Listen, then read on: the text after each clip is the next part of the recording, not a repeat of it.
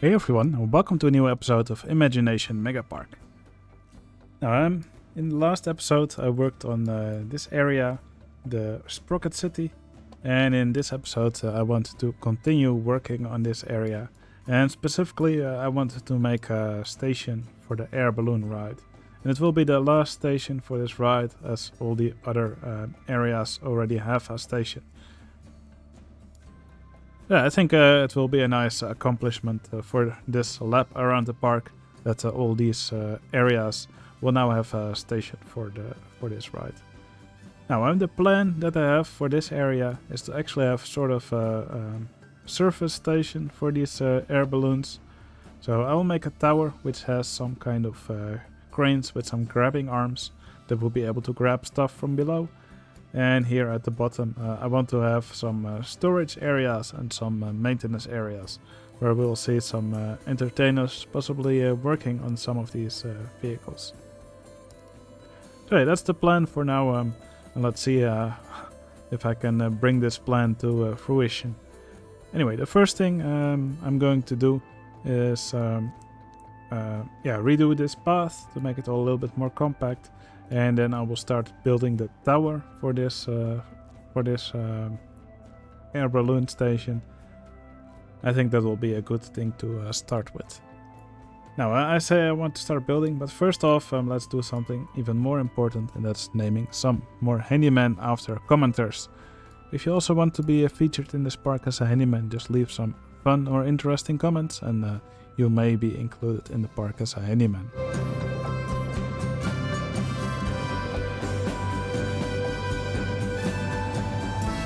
Alright, um, I've renamed three handymen uh, to people who commented on one of my last videos. So uh, thanks for the comments and uh, yeah, just uh, keep them coming. Alright, um, I will now start work on this tower.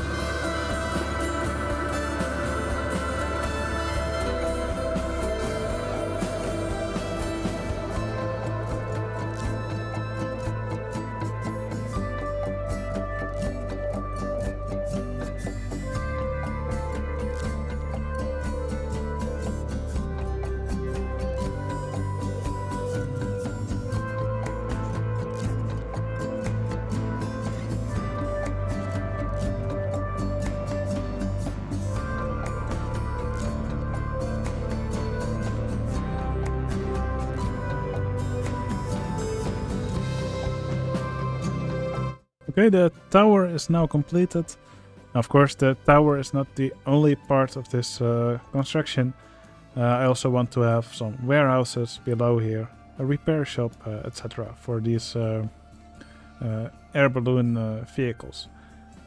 And of course, we also need a way um, for the yeah for these things here on the ground to actually get up here. So that's why I want to make several yeah sort of cranes so it will more be like um, um, some trusses with some grabbing, uh, the rope and a grabbing arm below.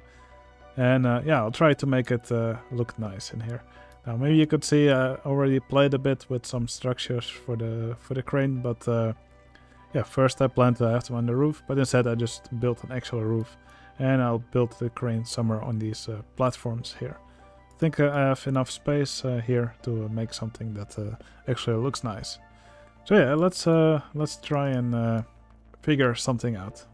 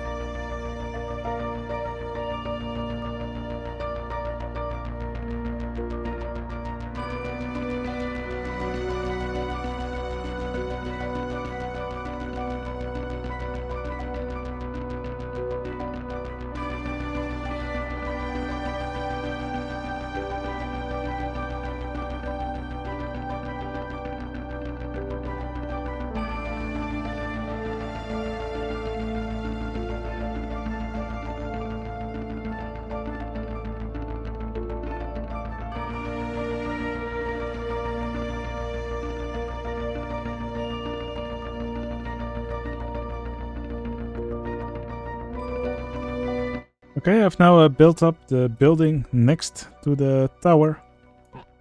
Now, as you can see, it's quite a big building. Um, with a big open area here as well. And over here I stored lots of uh, vehicles for the uh, air balloon ride and also several air balloons. So you can see uh, several of them uh, just uh, stored away uh, inside and here on top. And on the lower level you can see some of these um, yeah, these carriages that, uh, that sit below the air balloons. Now, part of it is actually obscured by this building, so probably I did a bit too much work anyway, because quite a lot of it will never be seen. But uh, yeah, I do think the part that will be seen uh, looks pretty nice. Now, I also made a little crane over here. So here you can see a structure on top, also with a little cogwheel, and some of these uh, this is an object from the space set, but the recolorable version. And here is a little crane boom. And here you can see a, a cable attached to a grabbing thingy. And actually is grabbing one of these uh, uh, vehicles for the air balloon ride. I think that was that's a pretty cool scene. Uh, over here you can also see some sort of scissor lift. Uh, so with a big platform here on top. Also some barrels. And um, I think you'll just have to imagine that uh, uh, they just carried this um, carriage of this uh, platform. Now over here on top uh, I also just parked some more vehicles. Um, so yeah, ready to uh, be taken uh, into service uh, at some point, I guess. Right, um, with this done, uh, I will now just work on the surroundings a bit more. I think this area right here next to the tower could use some attention.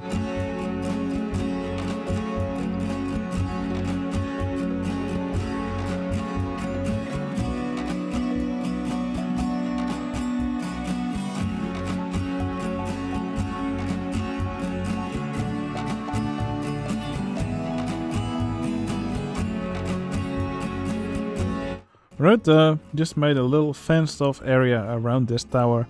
I kept the decorations quite simple, just a little bit of foliage and just some junk behind it that uh, they tried to hide away. Also put some more of these uh, buildings uh, in front. Uh, yeah, I, it's probably kind of like uh, in the Middle Ages where people would just build wherever there was space. So um, they would just build these houses in front of this building here. I think they uh, fit here quite nicely. Now, also on the back, did a little bit of work here, just uh, mostly stowed away some stuff that you can find in other areas or in other uh, places in this area as well. Mostly just some barrels, a big platform here. Also some of these uh, grabbing things for the crane. So some of these uh, carts. Also a little bit, try to make it a little bit overgrown by uh, putting some of these bulrushes here to uh, make it look like there's some grass. And now that I think of it, uh, I can probably also place uh, one or two of these. So uh, let's see. Um, let's go for snowball. So then we get the Japanese snowball tree. And that's always a good tree to make things look a little bit overgrown. I think this is uh, perfect. Now I've decided not to uh, really build anything here. I think this will be a perfect uh, place to make another coaster. Haven't decided what kind of coaster yet, but that'll be something for a future episode. I also made a little path here uh, leading um, to this uh, set of doors here on the back. Also not really sure what I'm going to do with this, but uh, again, there'll be something for uh, to do something with in the in the future. Now, I think we still have time uh, in this episode to build something.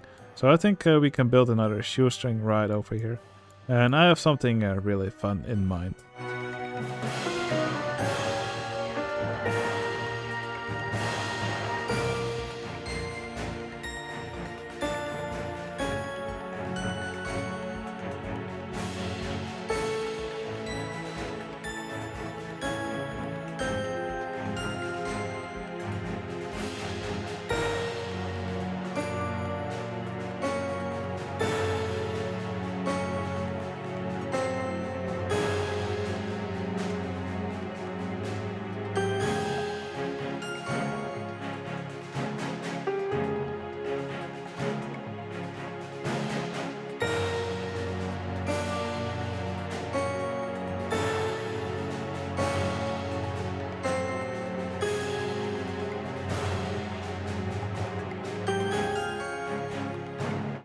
I've built a new shoestring ride here. Now this is just something that uh, that I just came up with. So basically just uh, a set of these uh, swinging vehicles for the suspended uh, swinging coaster. Just uh, traveling around uh, on this circular track while swinging from the left to the right. so yeah, I think uh, if this was a real ride, it would get uh, guests uh, pretty nauseous seeing these cars swing from left to right like this. Yeah, I uh, really like how these uh, decorations turned out. Um, I think it, uh, it just looks really, yeah, really nice. I'm really satisfied with how it turned out. Now, um, I had an issue with the supports for this track as they became invisible. I tried a bit with the normal supports that, that I could give this track, but they would be on the outside and they would glitch a lot. So I just made some uh, custom supports of my own. So just some simple poles uh, and with some uh, connecting beams here on the top. And together I think they uh, make for some really convincing supports, which also look pretty nice. So yeah, super happy with how this ride turned out. I think it's a great addition to this uh, area. So I gave it a name, uh, Discombobulator. yeah, just tried to uh, give it a sort of a mechanical name uh, without, um, yeah, without it really making uh, sense. Now I've also added two more entertainers to this area.